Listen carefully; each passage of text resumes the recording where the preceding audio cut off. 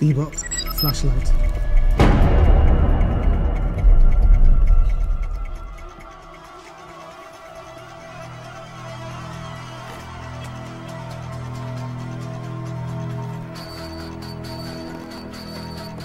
I'm in the southwest wing of the fortress. All quiet. Damn it, Jared. I'm really close. Multiple life forms detected.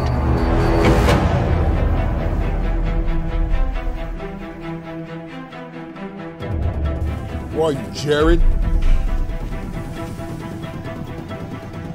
Jar Jar. I can see a person. And the scanner's showing several more life forms.